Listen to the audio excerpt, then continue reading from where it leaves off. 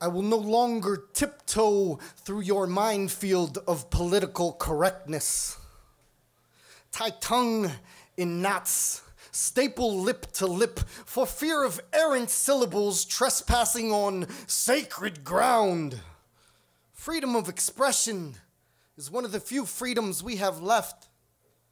And it's bordering on extinction. Soon enough, it'll be a distant memory like privacy or conversation. Your opinions have been criminalized.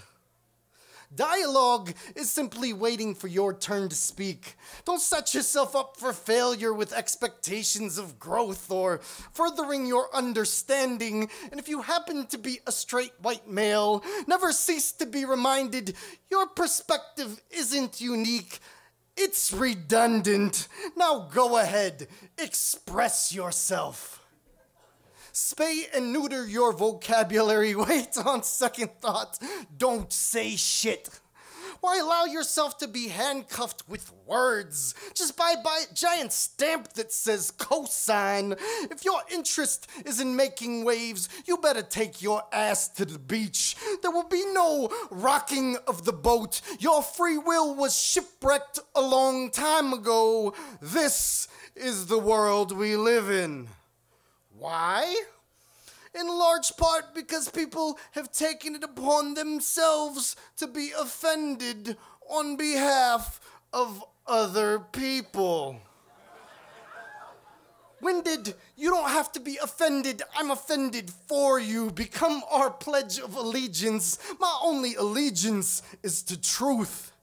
It's okay to laugh at ourselves.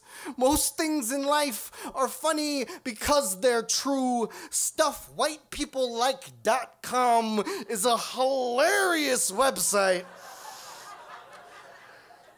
And while I don't play frisbee golf or host ugly sweater parties, of the 136 items, I do more than half the shit on that list, like pay insane amounts of money to sleep outdoors on the ground.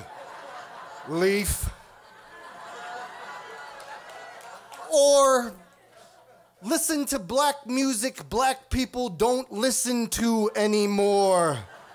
I mean, African American people. I mean, people. I mean, we get so hung up on labels, the pulse of the message is lost in the editing. So learn to disable that autocorrect mindset and let go.